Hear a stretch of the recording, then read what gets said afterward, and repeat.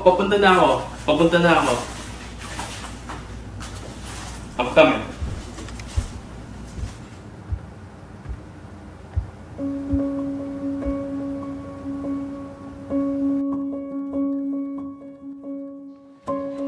Ka na ba?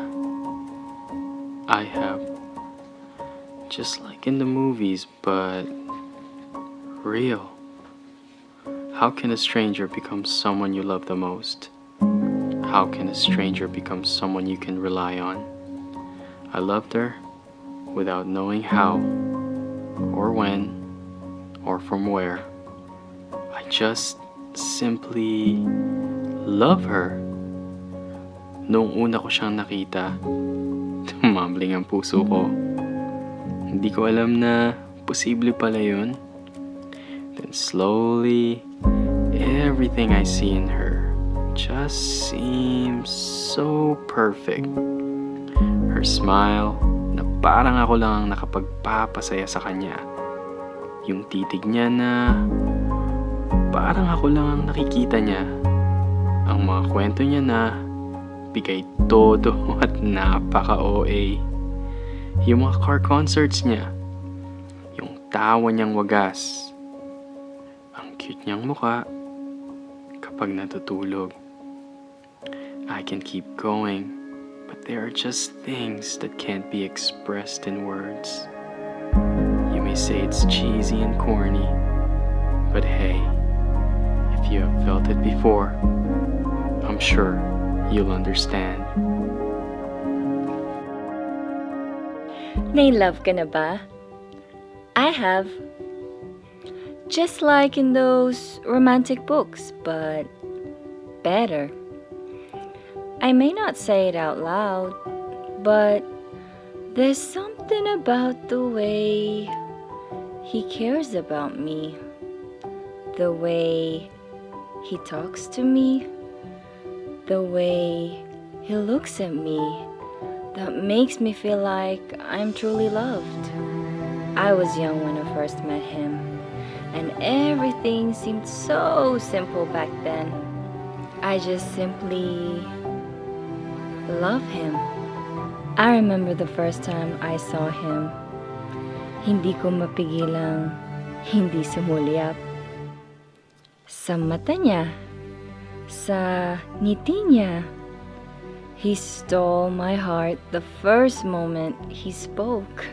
His jokes na siya lang ang natatawa. The way he listened sa mga kwento kong paulit-ulit. His silly dance moves. Backup singer ko sa mga car concerts ko. Yung mga goodnight kisses pag akala niyang tulog na ako. Hindi ako naniniwala sa love at first sight. Until I met him.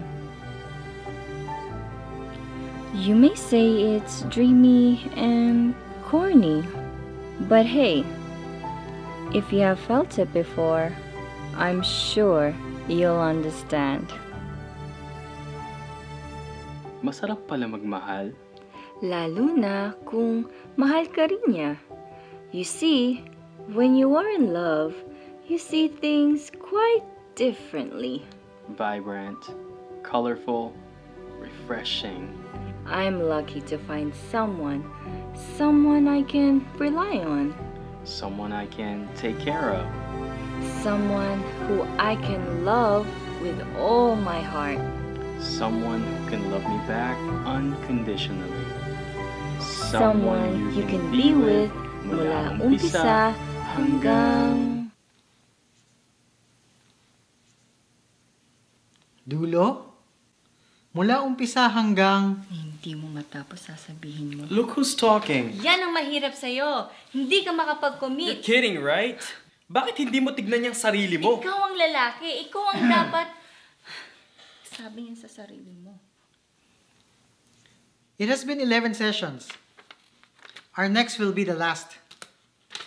Ang trabaho ng marriage counselor, hindi para mag-referee sa bawat away nyo.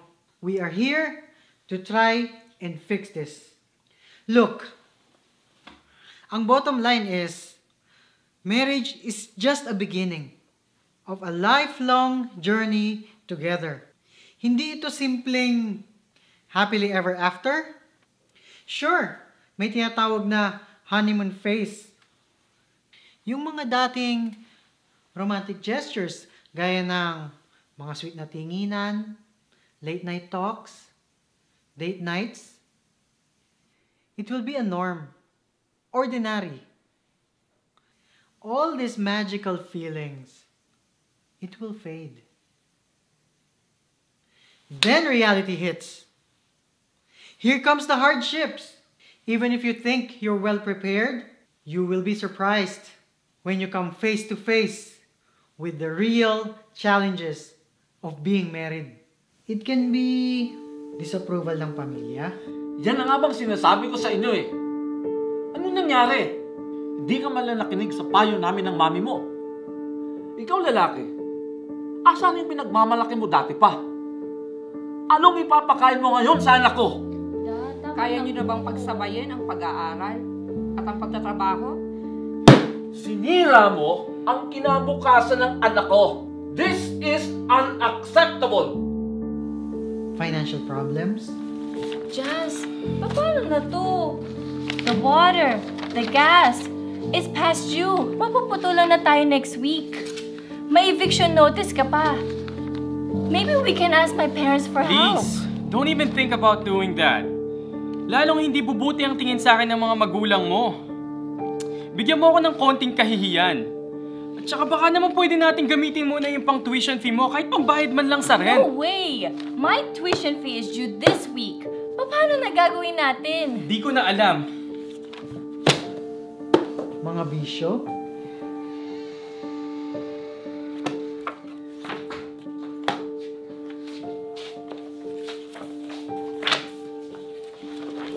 Can you stop? Amoy ala ka na naman! Saan ka na naman galing?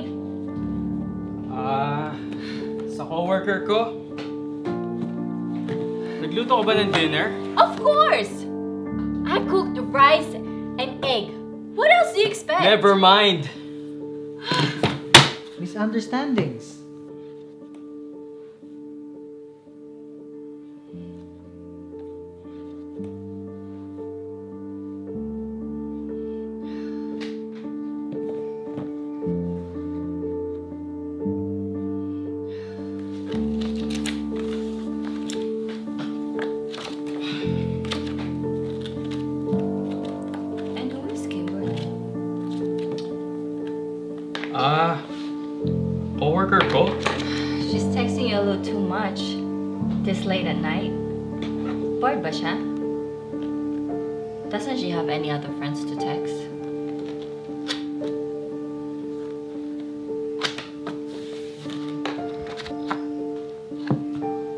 Tahimik ka? I'm only asking because a girl messaging a married guy this late at night, message after message, is questionable. I just told you. Coworker ko lang siya. Wala ka bang tiwala sa Bakit akin? ka defensive? I'm just making sure. Kasi nga, sunod-sunod yung message niya. Alam mo, you're just paranoid. It's all in your head. Pinagbibitangan mo ako ng mga bagay na hindi ko naman ginagawa. Kung ganyan kadaldal ang asawa ko, ba't di ko na lang kaya gawin? Buisit na buhay to! You will discover a lot of things you didn't know about your spouse and even about yourself. You'll realize that your spouse is not as perfect as you initially thought. A lot of changes will happen. At kasamang pwedeng magbago, yung feelings ninyo sa isa't isa. Yan ang madalas na problema. Problema ng mga maagang nag-aasawa. So emotionally driven. Affected ang rational thinking at hindi nakikinig sa payo ng magulang. Maniniwala lang na mahirap pala pag maghihiwalay na. Exactly where you are now. Pero this time around, pag-isipan niyong mabuti. Habaan ng pasensya. It's too late for us. Love isn't the same. Love isn't there anymore. May I? I ask you to write this to revisit yung dati and to reveal something that is hidden in plain sight. Sa likod ng mga pagtatalo nyo, your love was never lost. Baka natatabunan lang ng insecurity, pride, doubt sa isa't isa. Look, for the past few weeks, we tried so many things to fix this. Pero, hindi sapat ang karunungan ng tao. Merong payo that should be the center of your marriage. Merong payo na higit sa karunungan ng tao. Marunong lang sana tayong lumugar. Lalaki, ibigin mo ang iyong asawa gaya ng iyong sariling katawan. Sapagkat walang sino man ang napuot sa kanyang sariling katawan, kundi kinakandili at minamahal. At ang babae, gumalang naman sa kanyang asawa. Baka ito ang kulang sa pagsasama nyo. Isipin niyong mabuti. Pwede pa itong maayos. Huwag niyong sayangin.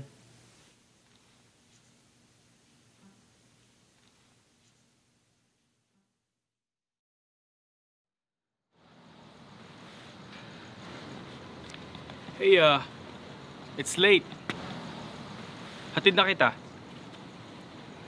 No, I'm okay. Kaya ko umuwi mag-isa. Oh, by the way, I'll come by tomorrow. Kukunin ko yung natitirang gamit ko. Sure, yeah. Kanina ko pa naihanda. Um, What? can we talk? Again? One last time? What is there to talk about? We've been talking for the last five years. May nangyari ba? I know. I know. But I feel like there's something missing. You know what? I don't know.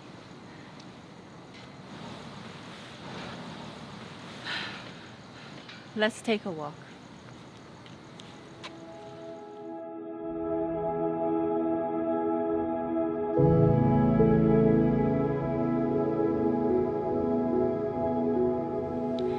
We all want a happy ending, a love story. But beyond that, there's more. A lot more. Akala lang natin madali. Mga batang wala pang alam sa buhay. Inunang nararamdaman kaysa payo ng magulang. Pinasok ang pag-aasawa ng hindi handa.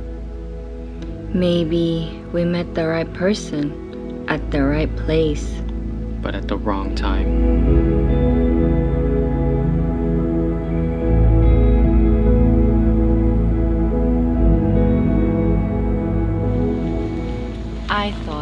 We could be the young lovers our old selves will reminisce about. So, here we are, at the end stage of our relationship. Huh? Hanggang dito na lang ba talaga? You know, this is not the first time we've talked about this. Isa lang naman laging ending eh. And you know it. Wala. Bakit mukhang napakadaling sa yung tapusin ng lahat ng to? Bakit parang ako lang ang palaging lumalaban? Akala mo ba hindi ako lumalaban? Akala mo ba masaya ako sa kalagayan natin ngayon? Akala mo ba ginusto ko to? So anong gusto mong gawin natin? Anong gusto mong gawin You ko? know what? Wala na akong luha pang iiyak sa relationship na to. Pinapahaba lang natin to, Jazz. Alam naman natin ang dulo. It's heartbreaking, I know. Pero, this is it. So what? Are we just gonna stop trying? Hanggang dun na lang? Ganun na lang Don't yun? you dare say I stop trying. I want this to work as much as you do. But nasa dead end na tayo. Nasa dead end na tayo, Jazz.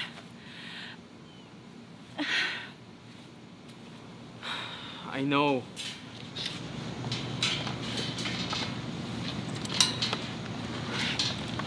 I know, I know. Alam mo, akala ko we can be an exemption. What do you mean? Exemption saan? Sa lahat ng bagay. Sa mga sinabi nila bago natin pasukin to. Ako rin naman. Akala ko, kaya nating lagpasan lahat ng mga doubts, ng mga hardships, and all the warnings about young love. Apparently we couldn't. How I wish we could go back in time. Some sort of time machine. Wait. Remember this? Is that It is.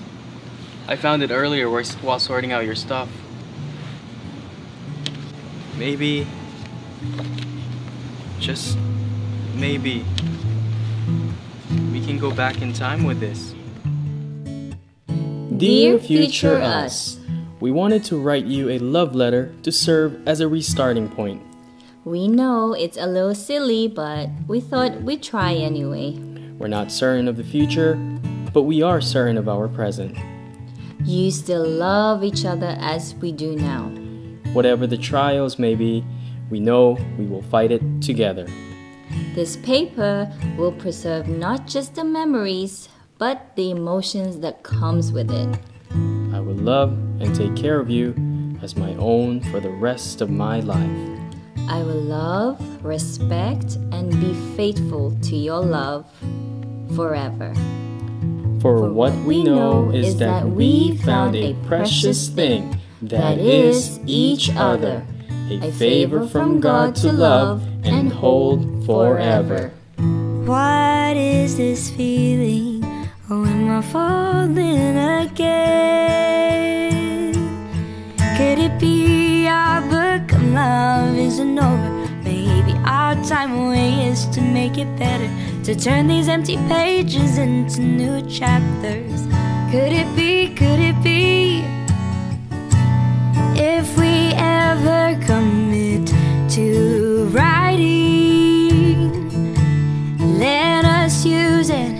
ink that would never fade, a paper that would never ever wither, words we can turn into songs and sing together. Could it be our book of love isn't over? Our time away is to make it better, to turn these empty pages into new chapters. Could it be?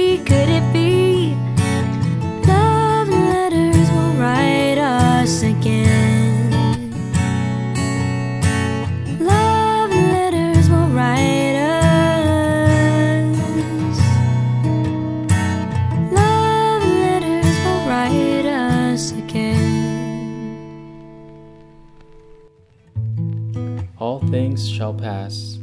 But his words are eternal, We may have written and read love letters in the past, but one that solidified our love for each other.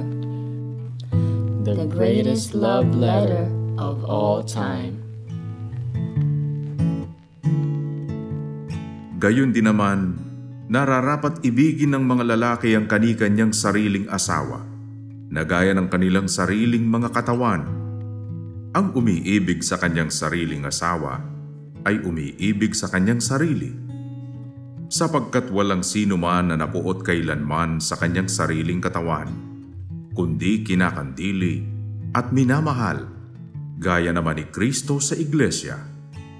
Gayunman ay umibig naman ang bawat isa sa inyo sa kani-kanyang sariling asawa, gaya ng sa kanyang sarili, at ang babae ay gumalang sa kanyang asawa.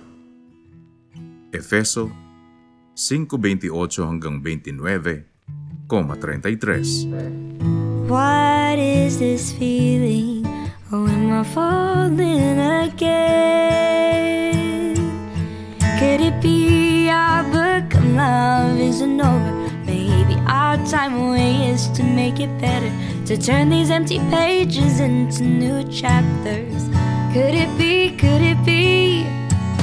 Sana po ay nagustuhan ninyo at may natutunan kayo sa ating latest upload. Don't forget to SLS. Subscribe, like, and share. Salamat po.